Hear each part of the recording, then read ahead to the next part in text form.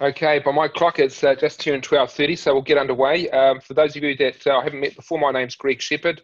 Uh, I facilitate the Marlborough Beef and Lamb Farming for Profit program, of which this uh, webinar uh, focusing on uh, optimising lambing performance is our topic today.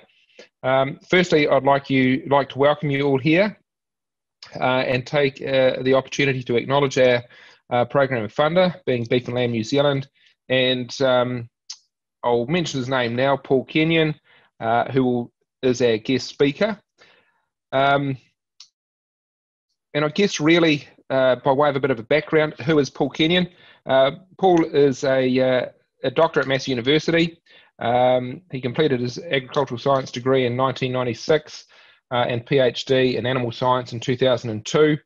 He's currently the head of School of Agriculture and Environment at Massey University and with uh, more than 20 years' experience in sheep research in New Zealand and internationally.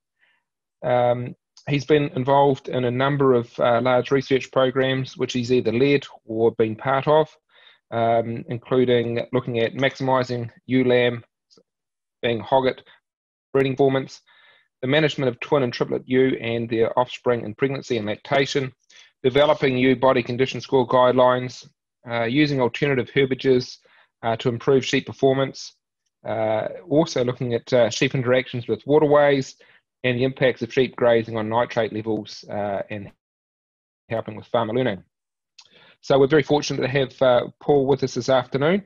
So I guess without further ado, I'm going to hand over to you, Paul, and, and um, we look forward to um, hearing what it is uh, that you've got to say uh, about um, how we go about optimizing uh, lambing performance. So it's all yours, Paul. Thanks, Greg. Um, and good afternoon, everyone. Thanks for um, coming in uh, to listen to us today. So I'm assuming we'll um, start with the fact that for most of you, it will be about mid-pregnancy on your farms. Many of you will have covers below what would normally be ideal. And maybe some of you might have already started to uh, reduce the numbers of stock on your farms. Now, all of those things um, will impact on how you can manage your ewe flock from now to lambing. And I'm going to concentrate on the mature ewes, but most of the principles hold um, that we talk about today on mature ewes will hold for ewe lambs as well, but there are some specific differences. So if we assume, and I'm, I'm correct in assuming most of your ewes will, most of your flocks will be around mid-pregnancy, um, you'll either be just starting to pregnancy scan or you might have been pregnancy scanned or scanned already, or if you're lambing more in September, which the odd farmer might be um, still, um, you may not have scanned yet your mature ewes. And I note that um, it was pretty well split between those who scanned for fetal age and those who didn't 50 50. Now, the advantage of uh, scanning for fetal age comes down to being able to make informed decisions on your feeding of your ewes, especially when you've had the ram out for more than two cycles. Now, some of you, of course, may be choosing not to fetal scan because you use mating harnesses on your rams anyway, and therefore you can easily identify those ewes that are your second and third cycle uh, ewes or your later lambing ewes.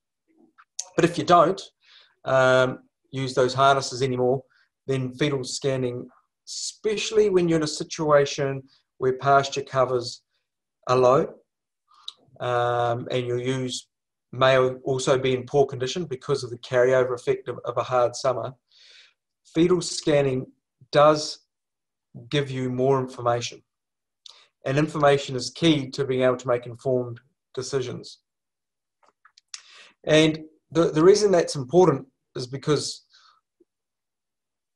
to be it's about being able to target the feeding of your ewes that need it most. Now, when your pasture covers are low, um, you're going to have those ewes that need feed now um, in mid to late pregnancy versus those that, that can handle being uh, held back for a period of time and being offered uh, more feed later on. Now, of course, if you've bred for more than two cycles or even two cycles, when, it comes to late pregnancy for your uh, first cycle ewes, so let, us pretend that at a day 130 of pregnancy where their feeding demand really cranks up, they're at day 130, the first ewes are lambing that were bred on the first day. But those that were bred at the second day are really, at, uh, sorry, in the second cycle only, the earliest they can be in pregnancy is day 113 um, because the, the reproductive cycle of the sheep is 17 days. So at day 113, the feed demand of a ewe is quite a lot less than day 130. And those that are in the third cycle, and many of you indicated that you um, bred for 34 to 57 days. Well, then some of those ewes, who those are the third cycle ewes, some of them are only 96 days pregnant or less. And they can pretty much be pushed back still at a really maintenance level of, of feeding um, while those ewes that are lambing the first cycle, those ewes that are somewhere between 34 to 51 days more pregnant, um, can be offered the extra feed that, that you do have. So pregnancy scanning allows you to target the ewes that need it most um, when it comes to those last few weeks before your lambing starts. Now, in the paddock, the, the ewe that's going to lamb um, 51 days later never says to the ewe that's going to lamb first, you eat it, uh, you need it. I don't. That doesn't occur. And so it's about being able to target the feed you have to those that need it the most. And remember, if you've timed your lambing correctly so that lambing occurs just as your levels of pasture start to come away, those third cycle ewes, and even some of those latest second cycle ewes, their late pregnancy will be coinciding when pasture covers are coming up. Grass growth is increasing. So when they need it most, that late, very late last two or three weeks of pregnancy and lactation, the grass is really starting to kick along and grow. And so, therefore, you need to be less worried about them. And it's the ones you need to be worried about the most are those that are lambing first cycle. So, when it comes to talking about uh, feeding of ewes in mid to late pregnancy, it's about a hierarchy of demand, those that need it the most. And it's about splitting your mob up a bit into two or three uh, groups. And, and, those groups should be based on demand. So those that need it the most in mid to late pregnancy are your first cycle multiple bearing ewes, especially those in poor condition. Because in the last 30 or so days of pregnancy, a ewe physically can't put on condition, and she needs that fat to buffer against the fact that even if you do feed her ad libitum or unrestricted, in the last week or two of pregnancy and early lactation, she physically can't eat enough if she's carrying twins or triplets. So she needs that fat. So in mid-pregnancy post uh, scanning, really it's your poor condition, first cycle ewes that are multiple bearing, that the ones at the very least you should be giving the most feed to. The next, the next group, or your second category group, are your rest of your multiple bearing first cycle ewes. And then the third or fourth group, depending on how comfortable we are splitting your ewes up, uh, your third group would be your um, later lambing, so second and third cycle mature ewes uh, that are multiple bearing, and then your fourth group are your single bearing ewes. You can push quite hard. Uh, for those of you who've been around farming for a long time, you know when we only had singles, we know you used to push them quite hard, and you had a lot, lot higher stocking rate on many of your farms. So you can, they can be your fourth group, but on most farms, farmers are only comfortable with two or three groups. So if you've got two groups, it'll be your poor condition, multiple bearing first um, cycle ewes, those with body condition score two or le- two and a half or less, they should be your priority group. And then all your other ewes and your truck and trailer type response group, they're following that first group around. If you're comfortable with having three mobs of ewes, then I would advocate your poor condition, multiple bearing ewes, uh, first cycle in one mob, followed by the rest of your first cycle better condition, multiple bearing ewes, and then your third group are your, uh, are your late lambing ewes and your singleton bearing ewes.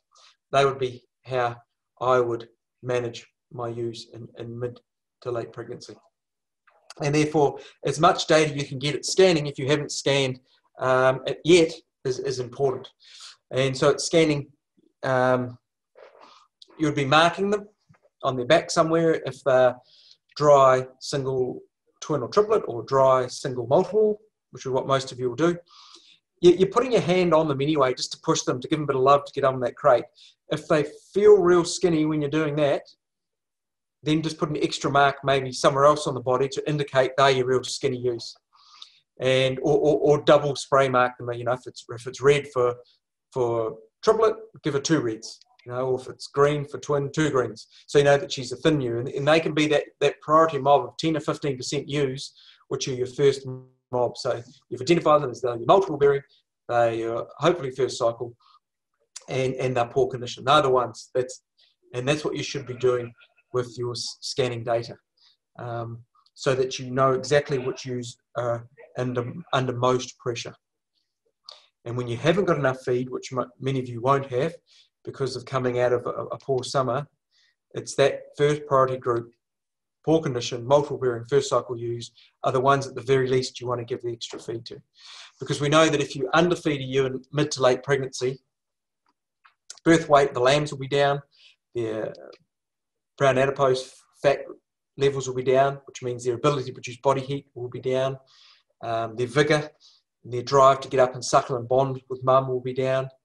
Mum, if she's in poor condition, will be driven to, to get up and eat rather than bond, and that's a real problem if you've got multiples, if she's not spending time with each of them to bond properly.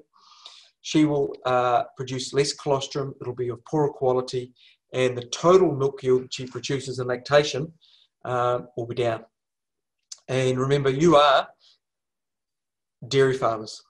You know, all your money now, there may be the odd merino farmer on, I'm not sure on this presentation, but for those of you that aren't, you're really dairy farmers. All your money comes from selling lamb. Your most efficient lamb is one that's sold straight off mum to slaughter. You only get that if she's producing a heap of milk. Therefore, your money comes from milk. So you're milk farmers, you're dairy farmers. And we know that if she's in poor condition, poorly fed, she'll produce less milk, just like any dairy cattle farmer will tell you. And therefore, she'll wean less lambs. And those individual lambs will be lighter, which mean they'll take more feed to get them to slaughter weights, which is inefficient. So all of those things come together to tell you that we want uh, to minimise the number of ewes that are poorly fed and in poor condition coming into pregnancy and lactation. So in mid-pregnancy, um, you want to be lifting the pasture covers a little bit um, of, of those poor condition multiples. And that might be um, only grazing down to 900 in that group, whereas the other group or groups, depending on how comfortable we are to have um, other groups on a rotation, would be following them and would be grazing a lot lower. And as Greg just said, that you know, 70 80% of your lamb, your income comes now from lamb, so you're milk farmers. So it's about managing your ewes to maximise the milk. So that's what you need to be doing in, in mid pregnancy. So, and Paul, course, sorry, Paul, I just want to interrupt there for a moment if I can. Um, just remind everybody if you do have a question about what uh, about something that Paul said, please use that chat function. Um, one for you, Paul, I put up there. What about use of concentrates, um, sheep nuts, or something like that through pregnancy? You talked about, um, you know, in that um, certainly the last um, part of the last 30 days of uh, pregnancy, you can't put weight on um, yep. those ewes. Can you do so with, with sheep nuts or, or the like? Um, so first thing, you, you know, in mid-pregnancy, um, you could, I wouldn't use the, the, the sheep nuts. Um, if for those of you who have uh, winter forage crop, which might be brassica based, it's a good time to, to, to use that. Um, however, try to avoid using those brassica type, especially the bulb brassicas, in the last three weeks of gestation because the bulb uh, and the stalk is predominantly water. You know, it's 90% water, and therefore you might think you're feeding them well, but you're just filling them full of water. Um, give an example, if, if ewe was eating brassica bulb only, say a, a, a, turnip bulb only, to get three kilograms of dry matter, she'd have to eat 30 kilos of bulb, um, which is like a wheelbarrow full because it's 90% water. Um, in terms of uh, the concentrates, yes, you can use them in the last few weeks, Greg. Um, the, the, issues there are getting them onto them, but maybe in your environment down there, many of you, your sheep are trained to using them. Um, so then it comes down to, to utilisation. Um, rather than putting weight on, um, they have been shown to be good in, in bearing ewes and, and very poor condition twin bearing ewes to, to try to get the, the lamb birth weights up to that type optimal range and try to ensure that colostrum production's up. You probably won't put condition on the ewe, but you'll limit how much she loses. So rather than putting condition on, you're limiting how much she loses, which is really a good situation because then she's still got that condition to use in those first couple of weeks post lambing where she physically can't eat enough. So th- that's where they could be used, Greg. Um, then, in terms of, I just want to go back to uh, mid pregnancy, some of you, um, actually a large percentage of you, 70% of those that did the survey, um, indicated your mid pregnancy shearing, um, which is a tool to increase uh, lamb survival by a couple of percentage points. There's no doubt at all it can do that, but it can only do that under a couple of uh, scenarios. The mid pregnancy shearing, if you're shearing a mid pregnancy, which is somewhere between day 40 of pregnancy and day 100, so after scanning, um, that increases birth weight because what happens if, as you shear the ewe, she feels cold, and if you think about a day like today, she'll feel cold, go out into the and it, and when she feels cold, she speeds up her metabolism like you would, and you break down your body fat like you would if we were to chuck you outside today naked, um, and that breaking down of her body fat means there's more energy in your blood system, and it crosses the placenta and enhances placental growth and fetal growth. to get bigger bigger lambs. So you want that in twins. So the mid-pregnancy shearing response from lamb survival only really occurs in twins. It's point one. Secondly, it only will occur if the ewe has got some body reserves or body fat to partition when she feels cold. So if she's already thin, you won't get that in, increased fetal growth and you won't get the bigger lamb, so you won't get the increased lamb survival. And of course, it's only really in multiples, your twin bearing ewes, and not your singletons, that you're going to increase lamb birth weight. So if you're in a situation where your covers are low, and we do know that if you shear a ewe, she might increase her intake a little bit for a couple of weeks. You might think about limiting the number of ewes you might choose to mid-pregnancy shear to one, limit your costs, uh, two, to, uh, to maximise the chance of getting a response from a lamb survival point of view, and thirdly, limit how much extra grass they eat. I would only mid-pregnancy shear in a year like this if uh, the ewes twin bearing or triple bearing and a good body condition. So if you're comfortable with having uh, only sharing a proportion of your ewe flock, and therefore when you come to your second shearing post Christmas, having two bull lengths, um, that's what I'd do to minimise costs and maximise your chance of getting the output that, that, that you want in terms of increased lamb survival. If you're late pregnancy shearing, which is after day 100, so that's in the last month and a half before lambing starts, you'll only really get a response from uh, from lamb survival point of view. It's too late to change fetal growth trajectory. You're actually about um, making her feel cold still around lambing, and so she seeks shelter. If you shear at you at day 70 or 80 um, using the cover comb, which you're required to do, or the snow comb or the winter comb, um, the time she lambs 70 days later, she'll actually grow enough wool stubble um, that she won't feel the cold and seek shelter. So mid pregnancy and late pregnancy shearing are two different mechanisms to uh, change lamb survival. Okay, are there, are there, any questions we want to cover now, Rhiannon, before I talk about very late pregnancy uh, feeding? Oh, we've got none, none through yet, Paul. Okay, that's all right. Um, sorry, look, Paul. Sorry, I did get one uh, or a couple actually posted to me um, directly, so I'll share those with you now. Firstly, most of this advice assumes ryegrass or similar forage.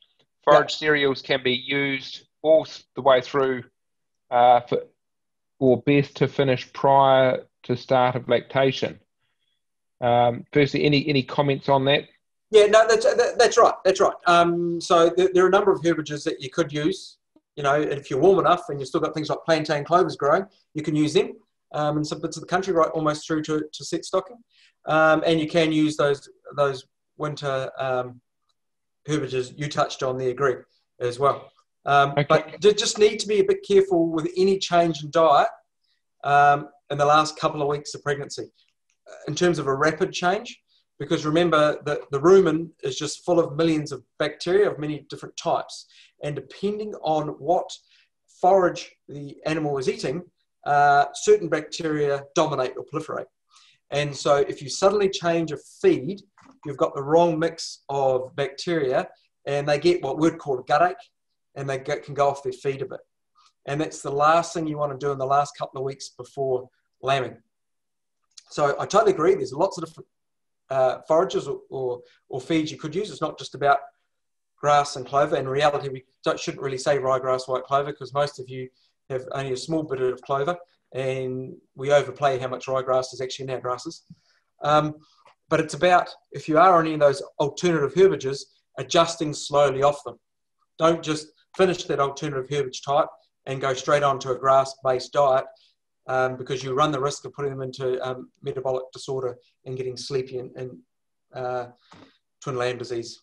So they're good feeds, but just adjust them on and off. Okay, you say, look, Paul, you probably um, address this next part of the, the question from this person. If drought induced, ewes have had grain for duration of mating and early pregnancy, and hill country pastures are dominated by low digestibility annual grass species, should grain feeding be stopped? If so, when? Are all pastures the same as ryegrass? So, look, um, you may have already answered some of that. Yeah, no, I, the, the principles are the same. You know, different grasses have different advantages in terms of ME, uh, the amount of protein, and, and, and their uh, fiber content. Um, if you use adapted to it and you've slowly adapted them in and you're not giving them huge amounts, um, then there's no disadvantage about giving them some in, in that mid to late uh, pregnancy period, as long as you avoid grain overload and as long as you avoid something coming off it. Yeah, so I've kind of covered that, I think, Greg. Yep. Okay. Look, we've got a couple of other questions that have come through. Um, yeah. What about sharing uh, early in pregnancy pre-scanning? Yep. Yep. So there's possibly you've touched. Yeah, yeah. So, so the earliest anyone's ever recorded uh, an increase in birth weight lamb survival is uh, about 35 days after uh, the, the, the, fetal age of 35 days.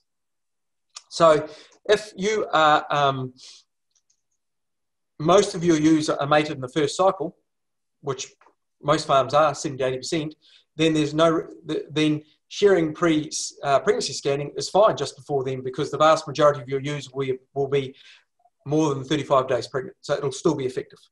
Yep. Just that your second cycle and third cycle ewes may not be effective, but they're only a small percentage of your flock. Okay, another question, Paul, and we've got uh, so we would like to know about early pregnancy around 35 days and risk of the benefits. I guess we've just um, heard you talk about that. Um, what are your thoughts on pre-lamb drenching to increase lamb survival and growth rate? So that's a bit of a hospital pass, Greg. Um, so, and I'm, I'm, not sure what they mean by pre-lamb drenching. If, if they're meaning for anthelmintic reasons, well, then you're best to determine if you've got a parasite load issue um, first, rather than just blanket drenching for the sake of blanket drenching. Um, because either you, if you're just drenching for the sake of it, uh, you might be wasting your money, um, in terms of there's not a parasite load, or secondly, drenching for the sake of it can, as we all know for a while now, um, speed up drench resistance. You got to be a bit careful there. Um, if they're talking about pre-lamb drenching from a lamb survival from a mineral deficiency perspective, it'll very much depend on whether or not you've got a deficiency on your farm of a given mineral or type. So that's actually um, not an easy uh, question to answer because both of those will be dependent on the current situation. And really, in a perfect world, and I'm not a veterinarian trying to sell you anything, um, best to, you know, you can quickly do a parasite uh, count on your ewes by pushing them in a corner of a paddock just a few days out from when you might want to drench them and just grab some fresh warm poo when they when you leave when they leave that corner and get a count done and you can um, get, get a mineral analysis um, from some animals, get your veterinarian out for that. So it really is a dependent on what your situation is. It's not an easy answer to give, sorry. Okay, thanks, Paul. Uh, um, what I should have said at the start too, it was remiss of me. Most of you, you know, know now your gut feeling about where you are. So yes, you should know what uh, your user carrying in terms of single twin triplets. You should know their body condition score. Ideally, you'd know whether they're early or late lambing. And then really you should be, in your own mind, most of you have been on your farms long enough to, to have a gut feeling, am I in the crap or not? And then depending on what that gut feeling is, is how quickly you, you make some decisions. Now, those decisions might be bringing in supplement, we talked about that, but equally those decisions might be, as hard as they are, selling some animals or sending some animals away um, in terms of grazing. to, to, to ensure the ones you have got on farm uh, are, are fed at a level that they need to be in late pregnancy. Otherwise, if you have too much demand on your farm and your covers just get too low, and uh, a long way off the ideal of ideal of somewhere around 11 to 1200 lambing, you will have uh, a lot of dead lambs. You'll end up with a low uh, weaning percentage. You'll end up with um, lighter lambs, um, which will take more feeding, and you'll end up with poorer condition ewes. And if you're in that cycle of going into another summer, it just means you're setting up the next year to have thinner ewes going into breeding, and your ovulation rate, and therefore your scanning percent next year will be below optimum. So there are a few decisions you, sh- you, you need to make in terms of uh, also about stock numbers and um, as, as, well as as well as just using supplement, whether it's buying in or, or, stuff you've grown on farm or stuff you might have harvested if you're lucky enough to have grown excess over summer autumn. Um, so then it comes to late pregnancy. Now, in late pregnancy, in a perfect world, from day um, from three weeks out from lambing, a use, ewes allowance should be well above two kilograms of dry matter per day, closer towards four kilograms, so that she can actually eat over two kilograms. Because in those last couple of week, weeks, the, each individual fetus, and if she's carrying twins or triplets, is growing at about 100 grams per day. And she's putting on, that's for each fetus, and she's also putting on water as well in terms of you know what, what's in the, in the in the bag or the placenta, um, you know the water bag. Um, so that's a huge amount of weight going on. So in the last two three weeks, um, you're really in a perfect world, and you're not in a perfect world. And most of our farms are never in a perfect world because we're trying to lamb as early as we can in spring to maximise the, the number of days our lambs have got to grow so that we get as many lambs as possible away pre-Christmas. In a perfect world, you'd be lambing at um, 1,200 kilograms of dry matter, which I know many of you are off, well off. So um, based on that hierarchy I talked about before, and we may not get to my slides, but I'll, I'll send them to Greg and they can be sent around as PDFs. Um, you, you, you, would be um, ensuring that that your twin bearing ewes, your poor condition twin and triplet bearing ewes, in those last few weeks are not really grazing below that 12 or 1300 um, kilograms of dry matter. Now, someone asked uh, uh, the obvious question about bearings. Bearings is any speaker's uh, nightmare and uh, career killer because any advice you give on bearings will be wrong. Um, bearings, no one knows what causes bearings. You know, the, the, there was a study done in the late 90s, early 2000s with 300,000 ewes enrolled in across New Zealand, and not many clear guidelines came. Um, only clear guidelines came, and there, there some breeds were more or less likely to give bearings, and uh, some environments are more or less likely to give them bearings. Um, but around feeding, there, there, was not a, not a lot of clear guidelines. It is true, you, you don't want to blow the ewes out, and I totally accept that. And so, therefore, hopefully, as I said to you, if you've started mid pregnancy by having two or three uh, groups of ewes in your rotation based on demand, those uh, poor condition twin and triplet bearing ewes were the ones you're always feeding slightly more all the way through, making sure that they were putting on condition. And so when you got to late pregnancy, increasing them slightly is not going from feast to famine. So you're not suddenly going to blow them out. Um, sorry if I didn't make that very clear. So just what I'm meaning is you're slowly increasing their feed demand. And by the time you get to that last two to three weeks, that's when those kind of minima are, are required. I'm not at all saying keep everything on maintenance to two to three weeks out um, and then suddenly feed them a lot more. So from about day 100, those priority ewes shouldn't be grazing below 900. You're slowly increasing the post-grazing mass. Now, if you've got no feed and you've got a lot of single bearing ewes and late lambing ewes, they can still be pushed a bit later because they will not be in that 100 to 132 days. They are 17 or 34 days further back. Okay? But then your first lambing group of ewes, so your first cycle ewes, when they first get two to three weeks out from lambing, you've slowly increased your allowance to be up two and a half to, to four kilograms per day. And as I said, there's not going to be enough grass on your farms to do that for the ewes. So it's about prioritising which ones get it. And in a perfect world, two three week, two weeks out from lambing, you don't re- restrict feed intake, which in a perfect world means you don't graze below 1200. Um, and that's three to four kilograms. And you don't, and this is a ridiculous point to make, but grazing above 1800, they actually don't eat anymore. So as long as you're not grazing out to 1200 for your, for your most important ewes, if you have it, you're not restricting intake. So in a sheep, if you're not grazing below 1200, you're never restricting intake because they're the size of their mouth. There's only so many, so much they can put in their gob in one time, and they've uh, got to uh, regurgitate and ruminate on it. But do remember, even when you're only grazing down to 1200, even we're not meeting their requirements. We have, in the last 30 years, created ewes by going for twins and triplets and going for increased lamb growth that, based on pasture, can't meet their theoretical requirements. They physically can't. And so that's why you need to have that extra fat or body condition going into late pregnancy lactation, like any dairy cattle farmer will tell you. They'll tell you what their target should be. And in an ideal world, your ewes should have a minimum body condition score of three out of five. And the reason I come up with those uh, targets is not, I didn't pluck them out of the air. Um, they're based on work that was done in the 1980s.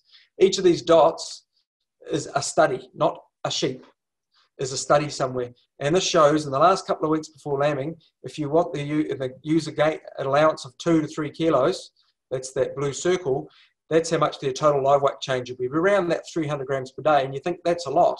But the fetus is genetically set up, each fetus to be growing 100 grams per day. So if there's two in there, like you, there's 200 grams per day just in fetus, let alone probably 50 to 100 grams in the associated fluids with the uh, water bag, etc. So that's the type they need. That's just for the ewe to meet her requirements and not have to use her fat. And, and, and again, here looking at the post grazing heights, that's why we talk about 1200, is to get that 300 grams per day total live weight change. If you're grazing a lot lower, you can see she's only putting on 100 to 200 grams per day. But if there's two fetuses in there, the reality is what, what that means is those fetuses will still grow at that rate, plus or minus 5 or 10%. That's all you change birth weight by, by, by feeding is plus or minus 5 to 10%. So she's actually getting thinner and thinner. And you all know when ewes go down with sleepy and your dog tucker them, they're just skin and bones, most of them. And that's because we've created, this. and if you've got that low allowance of one and a half a day, she's actually losing weight. So at set stocking, the last point I want to make about set stocking is that you won't have every paddock on your farm at 1200 kilograms coming to lambing. Hopefully, between now and lambing, your winter rotation order, because you want to be setting winter rotation order so that those paddocks you put your twin and triplet bearing first cycle lambing ewes in have had the most time to grow back. So so when you stock them, those paddocks will have the most amount of grass. So they should be the ones you graze first on your winter rotation and not go back to. And in terms of which paddocks are that? Now, most of you for many, many years will have been scanning, and most of you for even longer periods than that will have been counting tails at docking, because we all do that, right? We all count tails because we want to know how many lambs are in, the, are in that paddock. Now, if you've got scanning data where you know that in paddocks X, Y, and Z, you only put in uh, singles or twins or triplets, you therefore know how many lambs are in there. The paddocks put using, well, there'd only be one lamb in there per use, so you know how many lambs there should be there at weaning. The paddocks you put twins in, you know there should be two lambs, and triplets three. And, and hopefully you have confidence in your scanner, you can say that. And then if you count the tails, you'll actually therefore get for each paddock over five or 10 years, or groups of paddocks, actual lamb survival data because you know how many fetuses went in, you know how many lambs came out. Now, that means for each paddock on your farm, or groupings of paddocks on your farm, if you don't dock each paddock separately, you'll actually work out which of the paddocks on your farm have the both has the best lamb survival. And you may not know why that is. You might think, I don't understand that, but those paddocks always do.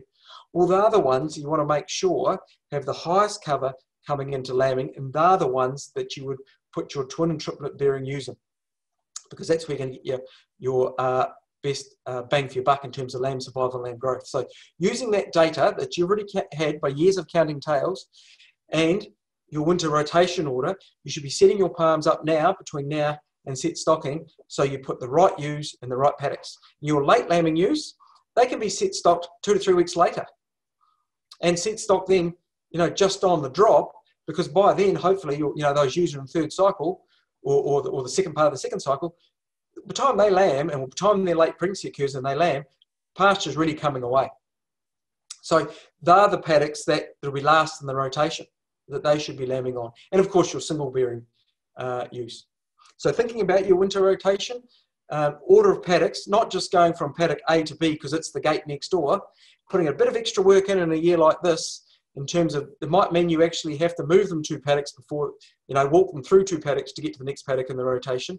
Just so you get the setup order right um, will have a big impact on the covers at lambing and the paddocks that you want the cover because they're the paddocks you want your first cycle twin and triplet ewes lambing in to maximize the survival of those lambs to maximize her milk production and therefore the weight of those lambs at weaning which is a big impact on your um, income because the heavier those lambs are, the uh, more likely they are going to achieve a slaughter weight early.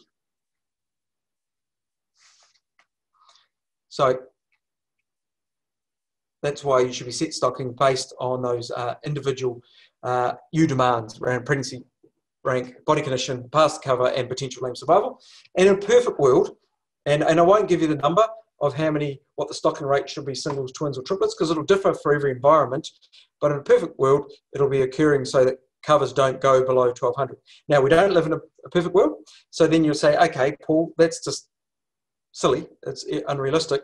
So what would I do? Well, what you would try to do is to ensure your poor condition triplet and twin bearing ewes are set stocked in a rate in a paddock which was grazed earlier in the rotation, which has higher covers. So hopefully, hopefully for the vast majority of lactation, the um, pasture covers that close to that 1200 as a minimum. Whereas your later lambing, single bearing ewes, in, in, you know, in that group or groups, um, well, we'll just have to accept in a hard year that they're going to be pushed a bit harder and they're going to be able to cope with that a lot better than those other ewes. And therefore, the impact on your overall uh, lamb survival of your flock and the overall weaning weights uh, is less impacted by putting those less demand ewes, those single bearing ewes, and those late lambing ewes into those paddocks with lower covers. And it's just prioritizing based on that because we can't live uh, in a situation where every paddock is going to be optimal because it just isn't going to be in any year, let alone in a year where the covers are low. So, do, do we have any more questions, Greg? Yeah, look, Paul, there was, uh, I guess we'll just go back to that one about the bearings. And, and like, I can't remember if you mentioned it or not. I'm busy making some notes as you were talking, uh, so I may have overlooked it. But the question there, in this perfect world in feeding, um, how many bearings would you expect in a normal flock, I guess? And, you know, I guess what's an acceptable level? Well, well all farmers will tell you zero is acceptable level because no one wants bearings.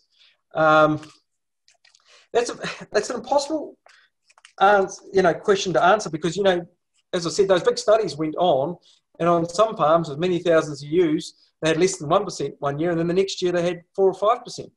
Um, you know, you, would like to think it's in the 1 or 2% Greg, but we just don't know the biology behind it.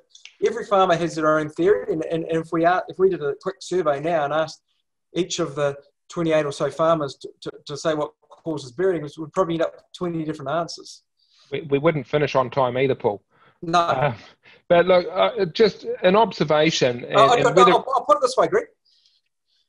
I would, in terms of number of lambs you wean and the weight of those lambs at weaning, you'll do more damage by worrying about bearings and underfeeding than you will by uh, slowly increasing their feeding um, in late pregnancy to get towards the optimum.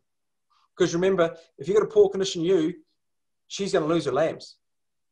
So where's your income out of that? It's not out of wool unless you're the a merino farmer, um, especially if you've now shorn twice a year. It's not out of wool. Um, so what's the lesser of two evils? Yes, we see bearings. Yes, they're disgusting. Yes, they causing a lot of work. But used in poor condition, poorly fed, lambing on low covers results in dead lambs and light lambs. Okay. Okay, another question that I put up there, um, Paul, was uh, with respect to optimising lamb weaning weight, live weight at at, uh, at weaning. Yep obviously. What gains can be realised, if any, from rotationally grazing ewes with lambs at foot? I, and, and, really, what I'm talking about there is, is from tailing onwards. That's right. There, there has been some work done uh, by by AgResearch um, down at Woodlands to show that uh, that you can get a, you know a couple of kilos extra weaning weight uh, by rotational grazing. Um, this was done a, a while ago. Um, two things about that is post-tailing um, when the ewes and lambs are quite mobile. It's about keeping the uh, herbage in that optimum window, so making sure it doesn't get above 1800 because then pasture starts to lose quality and doesn't get below 1200 because then you're starting to limit the intake post uh, tailing of both the ewe and your lambs. So it's about keeping that fresh pick. I would say though um, that those studies weren't done in massive mobs. So, uh, you know, a, a, mob of a couple of hundred ewes is a different uh, mob, so, you know, than of, of, of 100 ewes in terms of, because as you move them, there will be that separation of the ewes and lambs, and they will spend time re, rebonding up, etc., and they're not eating, etc. So that does work. You just need to be careful about very large mobs.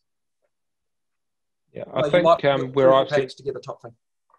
Yeah, uh, where I've noticed it, uh, Paul, working very well is where people have uh, a high level of subdivision and they are able to keep those mob sizes exactly reasonably reasonably yeah. small. Um, uh, look, just uh, another question's come through, and it's about um, set stocking. I'm I'm lambing about 1500 ewes and still shed off. Should I pluck up the courage and set stocked? So I, I think what the, the person is saying is the traditional approach has been lambing the ewes and then walking off the, the, the, the ewes and lambs post lambing. If, if that's working effectively and, and if that's a mechanism for that farmer to ensure the and late pregnancy uh, get fed enough because he, he or she's got them on a, a, restricted area with a lot of feed, well, I think you'd, you'd stick to that. Um, if, however, um, you've got no feed, um, walking them off from no feed to, to, to no feed is, is, not of an advantage at all. Um, you've just put, put them under more stress.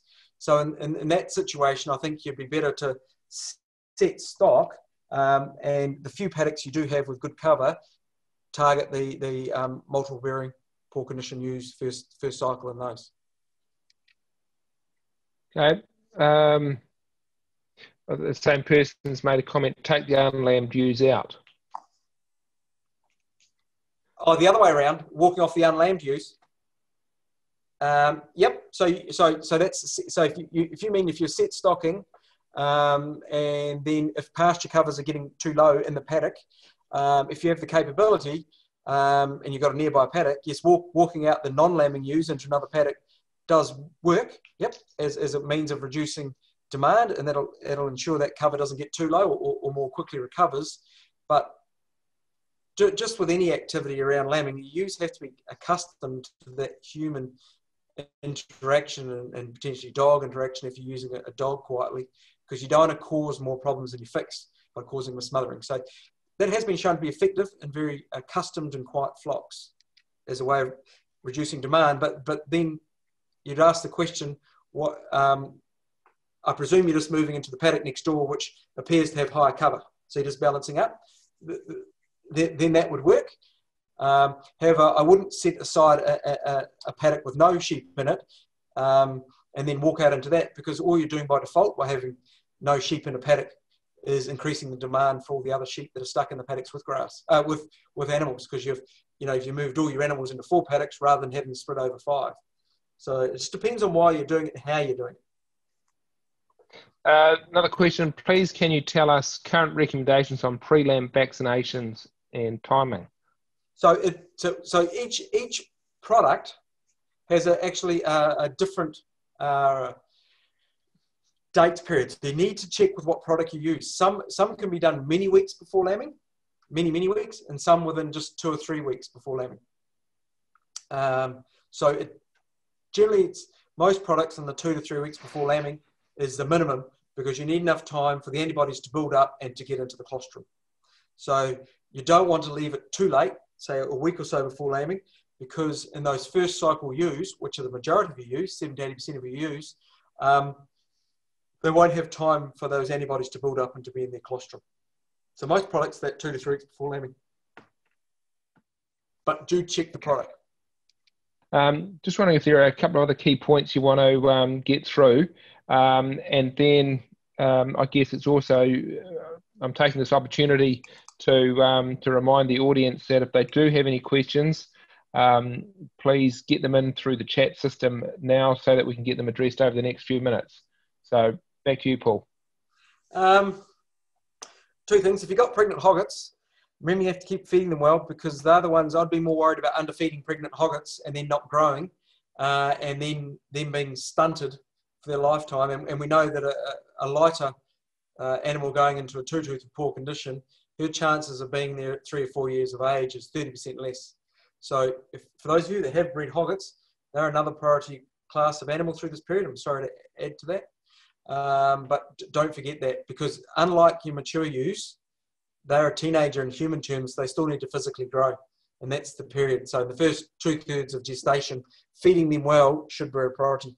Um, no one asked about um, if I've got too many ewes, which ones to get rid of. Um, I would get rid of your single bearing ewes um, because a single bearing ewe will never uh, rear as many kilos of lamb that year than a twin bearing ewe if you feed enough to get both lambs alive or triple bearing ewe. So that would be the ones I target if you have to decrease. Um, and remember, genetically, a ewe that's um, single bearing versus a twin bearing ewe, genetically on average is less fertile or fecund. So therefore, chances of being twin or triple bearing in future years is less as well. So that would be the ones I would target if anyone's considering getting rid of animals. I think that's probably all, Greg. I've just had another question come through, Paul. Where would you rank pregnancy hoggets? Okay, so I would put pregnant hoggets um, behind your poor condition uh, first cycle multiples, then hoggets next. If, if talk, talking about that, that hierarchy I did, they're right up there. They're right up there. Um, and, and, and hopefully some of you've got some rain lately and hopefully it's warm and, and covers are, are, starting to grow. But the, the hogget um, is a real priority class. Really, because remember, not only she, you might think, oh, she's only carrying one lamb, but it's the next, she's your next five years. And um, what you do to her in her first gestation has a huge impact on her performance over her first five years. So she's right up at the top. Okay, we've had another one come through. What are your thoughts on triplets, rear on mother or rear at home, and the advantages and disadvantages of that? Triplets, yes. Um, there is no doubt that lamb survival is poor in triplets, and if your ewes are in poor condition, your covers are low, it'll be bad, real bad. You might be 30 to 40% death rates this year. Um, that, that, that's what we know it happens and with low pasture covers, thin triplet bearing ewes. So therefore, in that situation, if you have the time and the desire, um, well, then rearing triplets um, artificially um, or mothering on is, is, a means of getting your numbers of lambs up. Now, for most of you, if your ewes were in poor condition at breeding, your number of lambs you're going to wean this year is going to be down anyway because your reproductive performance, your scanning percentage is probably back a bit.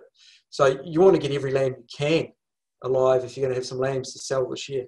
So if, if you can, um, certainly getting them in, and it's the smallest lamb um, that has the lowest survival within the set based on a number of studies looking at where they've ranked the lambs based on the biggest, middle, or the smallest lamb uh, within a set. It's the smallest lamb that has the greatest uh, chance of death or probability of death.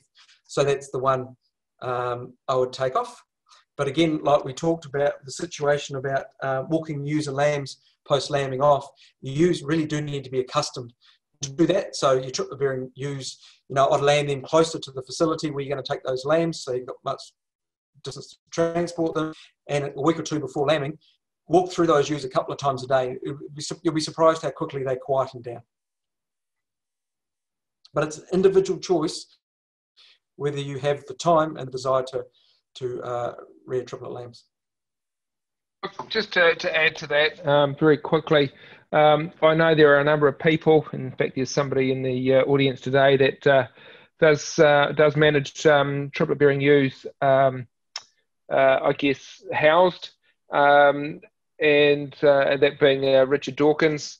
Um, look, I know we had a field day at his place a couple of years ago, and I, I just one of the, the key messages I learned from that was that in that situation, by taking those triplet bearing ewes off the paddock and lambing them um, undercover, if in effect what that was uh, uh, enabling was the set stocking rate on those higher risk uh, twin bearing ewes to be lower, meaning that um, there was a lower death rate in that in that aspect of the flock, and those lambs were also heavier at weaning time as well. So I'm not sure if uh, Richard wants to join in and, and um, comment. Oh, I see he's just posted a um, uh, a message to me. Over four years, we have halved triplet lamb death rates from 33% to 17%. So um, I'm sure there's some stuff on uh, Beef and Lamb's website that uh, we might be able to um, forward to you on that as well. He's also just noted that ewe deaths are down from 10% to 1.5%. So some massive gains from that system.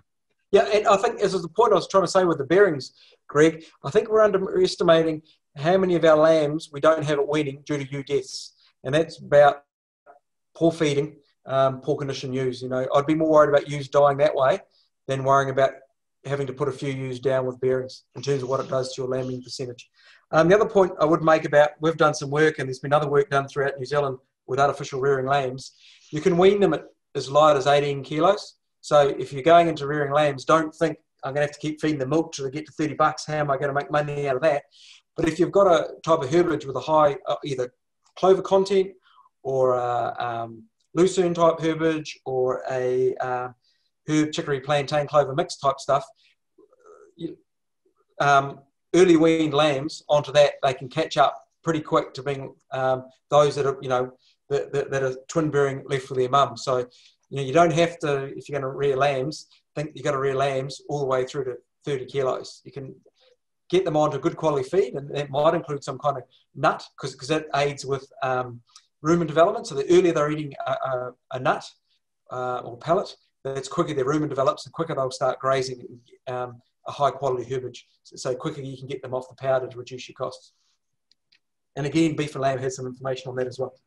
Okay, look, um, we're going to wrap up now. And look, I just really want to take um, time to say uh, thank you very much to our audience for attending. I hope you've been able to um, to say, take something out of it. Look, I, I was going to provide a bit of a summary of, of the, the key messages that I thought, but it's, it's really going to take too long to go through them because I think there was a, a lot of them.